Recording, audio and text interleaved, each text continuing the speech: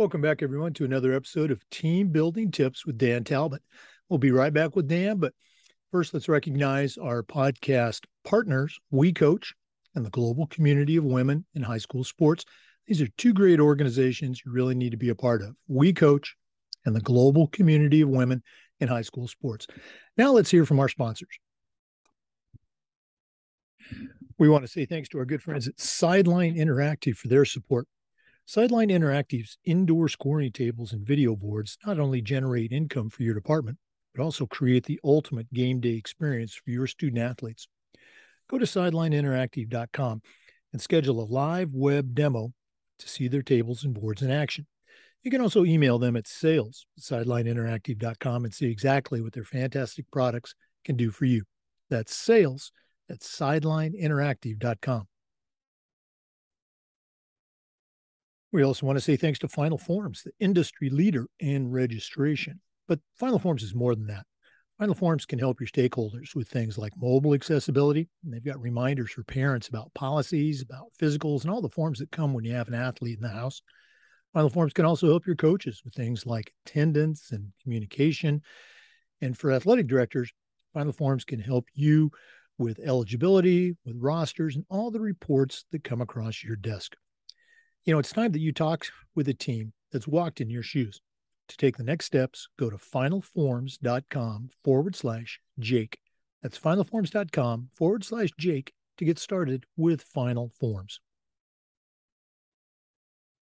We also want to say thanks to Hometown Ticketing, the leading digital ticketing provider to schools and colleges. Go to hometownticketing.com. They're going to show you how to set up and sell your tickets online also how to scan the attendees that come to your games and collect your revenue.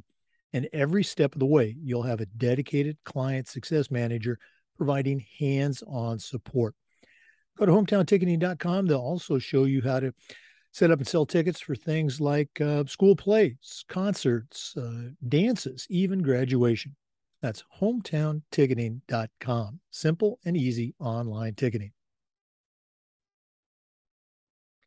We also want to say thanks to Hudl. Go to hudl.com. Hudl is how the world sees sports. Over 200,000 teams use Hudl to help their teams play better using video and analytics. As a high school football coach, I used Hudl for years, but as an athletic director, our school was a Huddle school. And our coaches just love the mobile apps, the um, easy to set up cameras in the gym and the fields. Uh, of course, they love the analytics, but there's so much more. Hudl is uh, built for every level of play. Club, youth, high school, even college and pro teams are using Hudl to help their athletes play better. Go to hudl.com and find professional grade analysis for your programs. At Hudl, we believe in sports and teams believe in Hudl. Go to hudl.com to get started today. We also want to say thanks to Athletic Surveys by Lifetrack. Athletic Surveys by Lifetrack are a quick, easy, and affordable way for you to collect comprehensive data that allows you to evaluate and improve your entire athletic program. Athletic Surveys by Lifetrack also connects you to the 95% of the parents and the student athletes who really love your program. And it gives them an opportunity to share the importance that a positive athletic experience has for them. Go to athleticsurveys.com or email them at info at athleticsurveys.com to get started. If you've never used a survey to take the pulse of your parents or your student athletes, you're really missing out. Go to athleticsurveys.com and let them help you take your athletic program from good to great. We also want to say thanks to Snap Raise. Go to snapraise.com or you can go to onsnap.com and check out their platform from a fundraising standpoint, SnapRaise is the best. Uh, get away from the fundraising headaches of the past. There's no selling, there's no inventory. And what's more important, it works. Our coaches use SnapRaise and it was just fantastic. And choosing the best fundraiser for you and your group is critical. Go to snapraise.com and check out the SnapRaise digital difference. You can also check out the thousands and thousands of dollars that they've helped schools just like yours raise using Snap Raise. Grow your program. Go to snapraise.com for more information. We also want to say thanks to Gipper. Go to Gipper.com and see how athletic directors are creating world class marketing content for their school social media channels. You can do it in seconds on any device, and you don't need any design experience. Go to Gipper.com, tell them you heard about it on the podcast, and use the podcast code ADPOD10 and get 10% off. That's Gipper.com. Create custom branded content for your school's social media channel. Gipper.com. And we also want to thank Wall of Fame by Vital Signs. You know, they're on a mission to bring your school's legacy to life.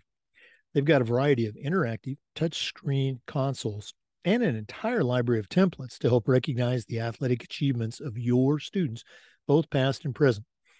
Let them help you showcase your school's diverse history and your proudest moments. Also, if you're looking for a really cool way to display your school record boards or your Hall of Fame, you need to get in touch with the folks at Wall of Fame by Vital Signs. Their website, vitalsignswalloffame.com, or email them at sales at vitalsignswalloffame.com to get started. That's sales at vitalsignswalloffame.com. Welcome back, everyone, to another episode of Team Building Tips with Dan Talbot. Every Thursday, uh, Dan Talbot, certified master athletic administrator and the senior athletic director for the Polk County School System here in Florida, shares his wisdom with us on a variety of topics. So, Dan, it's episode number 22. What do you have for our listeners this week?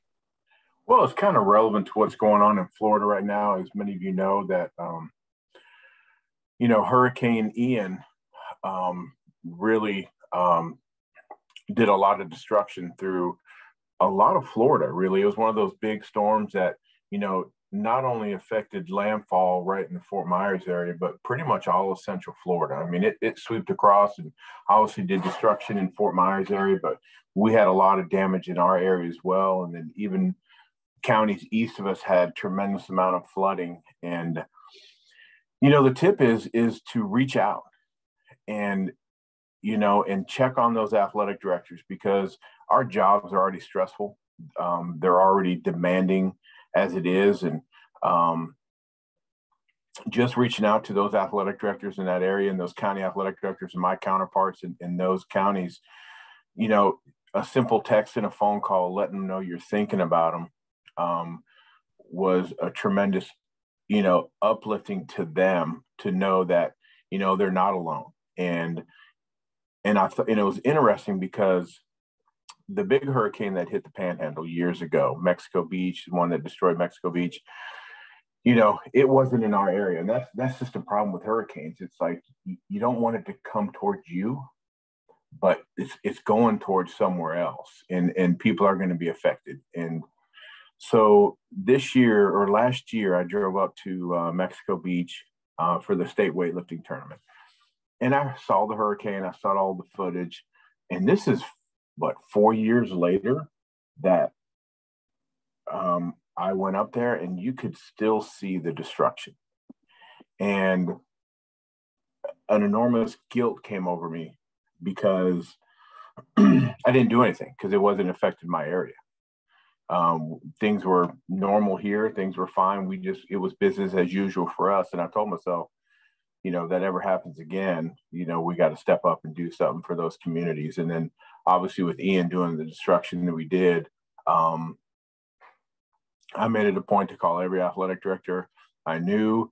Um, I drove into Ground Zero and brought uh, one of my good buddies uh, that came from Texas with me, you know, some gas, a generator, you know, trying to make his life easy because, you know, when he's things are easy at home for him, he can focus on getting the school back up. Uh, we've offered to our surrounding counties that were affected that if they need any of our facilities, if they need any equipment, anything that they need to help them get back up and running, that we're going to provide. Because um, I think it's important for kids to get back to normalcy, um, try to get in their rhythm. Because, you know, yes, okay, so I had a tree fall on my house, but how important is that when, you know, schools lost stadiums? I mean, there was one school in, in on the West Coast that their stadium's gone. No bleachers, no press box, no scoreboard. no goalpost, just it vanished in the middle of the night during landfall of the hurricane. And we tend to think about ourselves a little too much. And uh, if you know someone in South Florida, reach out to them and ask them if there's anything they need. Well, I mean, it, you know, we have one school using our stadium, and I'm to go. I'm to go open it, and they're to take all the money for the gate. They're to do all that good stuff that they need to uh, try to get back to some normalcy and and anything we can do to help out. But we all know athletic directors, and not just, it's not just hurricanes, it's earthquakes, uh, it's fires, it's things. But I encourage you to be humble and reach out because it is a it is a very tough time in Florida right now. Um, you see a lot of things on the news about the destruction and and trust me, when I drove to Mexico Beach last year, you know, you see it on TV, but words can't describe once you see it in person. It's it's devastating. So obviously my thoughts and prayers are to everyone in Florida that were affected by uh, Hurricane Ian. But I think it's important as the community and how strong the athletic directors community is, uh, even though our schools compete against each other uh, and we want the best athletic program. But I love the athletic director community because we all got the same problems. And when someone has a different problem than ours, then we all chip in to help and step up and and uh, create an environment so they can get back to some normalcy and ease, you know, ease that stress because, like I said, we have a very stressful job. Unfortunately, if you ask anyone in your school building, um, you just roll out the balls and you turn the lights on at 7:30 and two teams show up and you have a game or a soccer match or a baseball game, whatever it may be. They don't understand all the details that go behind it. Um, but my heart reaches out to everyone in Florida. Uh, Polk County's here to help. Anything they need, we'll we'll be there in a minute. Yeah, and, and again, I'm so glad that you guys are okay down there in um, uh, in, in, Lakeland. Um, you know, we, as you know, you know, we were down in uh, Venice for a couple years after I retired, and uh, you know, we moved in March uh, uh, into Lake County, hmm. uh, so we really didn't get hit. Um, but our previous community, um, you know, just looking at the Google Maps now that are up uh, through a couple of the uh, information units, uh, just just awful. And and during that uh, last week when that was hitting, I was texting and calling, you know, people in that area that uh, that I knew to make sure that they were okay. Uh, and you bring up Michael.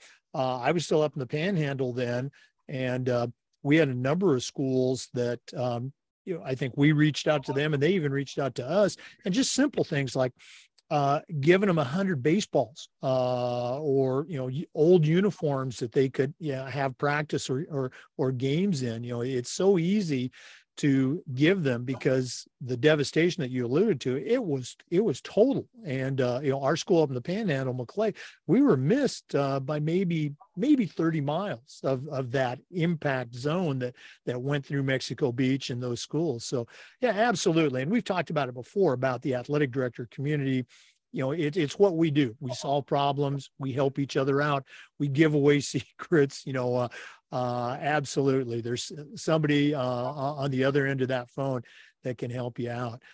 Yeah, um, we, you know, we ahead. can't get lost in that. We can't get lost in that out of sight, out of mind, you know, kind of mentality. Um, there's athletic directors that need help, and there's athletic directors that are struggling, um, not only to, you know, get their schools up and running, or or if they're going back to school, where they're going to practice, and um, I, I worked it out with a company here that you know, I'm going to help deliver some meals and some cold drinks to schools down in um, DeSoto County um, after one of their practices to make sure the kids have a hot meal and a cold drink because, you know, every kid's different, every situation's different. And I just think, you know, when someone in our profession needs help, not only, you know, with the physical aspects, like you said, practice pants or baseballs, you know, but just calling to check on them just for that mental you know kind of relief to let let them talk and get it out and and kind of work through the issue because it's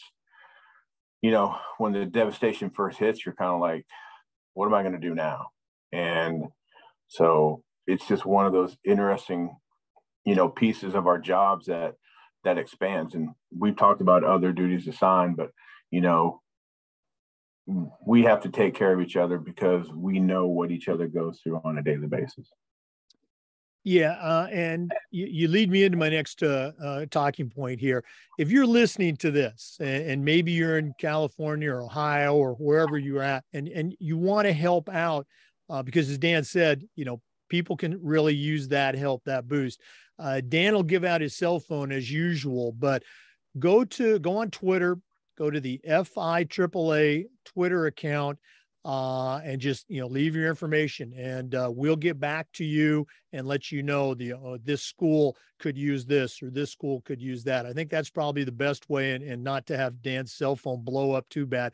But uh, dan as always if one of our listeners wants to reach out and pick your brain a little bit what's the best way they can get a hold of you uh, best way to get a hold of me i think the only time i'm in my office is when i'm with you jake uh, usually i'm out and about but my cell phone number is 863 661 0647 863 661 0647.